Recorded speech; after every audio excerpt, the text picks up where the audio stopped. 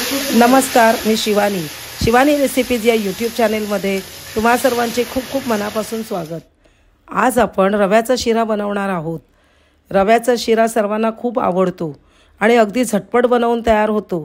म्हणजे कधी आपल्याला गोड खाण्याची इच्छा झाली किंवा घरी कधी पाहुणे आले तर फटाफट रव्याचा शिरा बनवून आपण त्यांना खावयास देऊ शकतो.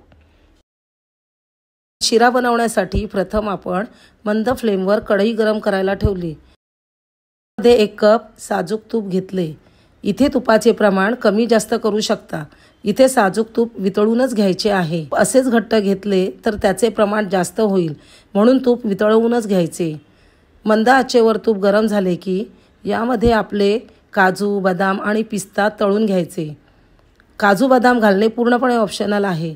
नाही घातले तरी चालतील.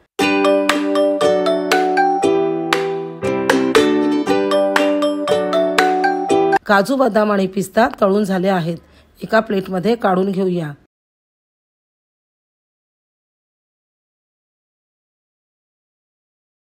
आता उरलेल्या तुपामध्ये रवा भाजायचा आहे. गॅस कमीच ठेवायचा. मी इथे एक वाटी बारीक रवा घेतला आहे. रवा तुपामध्ये टाकताना तूप गरम असायला पाहिजे. म्हणजे रवा पटकन फुलतो आणि हलका होतो. आपण थंड तुपामध्येच रवा भाजायला घेतला तर तो पाहिजे तसा फुलणार नाही.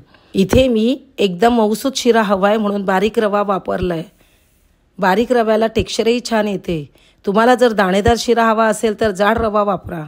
शिऱ्यासाठी आपण कसा रवा भाजतो यावर त्याची चव अवलंबून असते. त्यामुळे हा रवा आपल्याला तुपावर हलका रंग येईपर्यंत आणि त्याचा कच्चेपणा जाईपर्यंत भाजून घ्यायचा आहे. इथे घाई करायची नाही. एकसारखा रवा परतत राहायचा आहे. आता तुम्हाला मी रवा भाजला की नाही हे कसे ओळखायचे ते सांगते. आपण गरम तुपामध्ये रवा घातल्यानंतर रव्याला फेस येते. जोपर्यंत रवा कच्चा आहे तोपर्यंत तुम्हाला फेस आल्यासारखे दिसेल.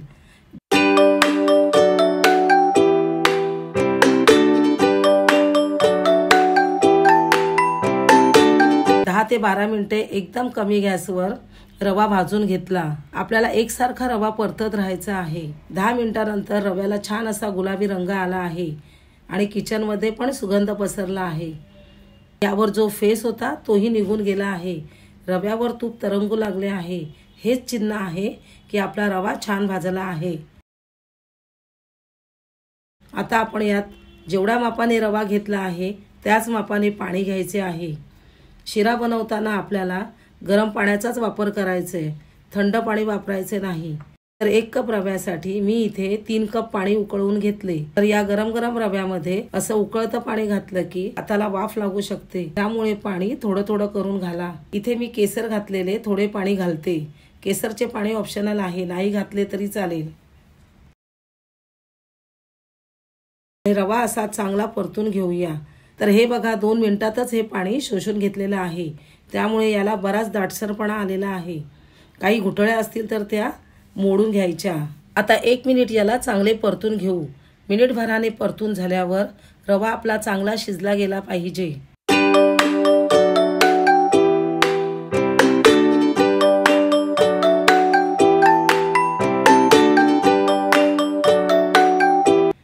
आता आपल्याला ह्यामध्ये साखर घालायची आहे. तर एक कप रव्यासाठी इथे मी एक कप साखर घातली. तुम्ही तुमच्या आवडीप्रमाणे कमी जास्त साखर घेऊ शकता. आता गॅस कमीच ठेवूया. आणि ही साखर या रव्यामध्ये चांगली मिक्स करून घ्यायची. साखर आपल्याला रवा शिजल्यानंतर मगच घालायची. म्हणजे शिरा दाताला चिकटल्यासारखा वाटत नाही. मिनिटभरातच साखर वितळली गेली.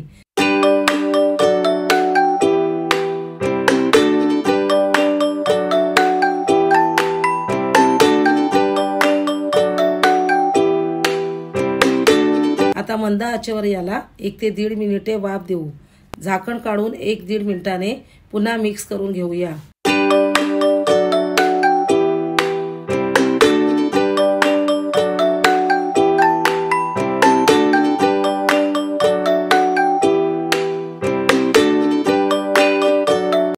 वेलची पावडर घातली.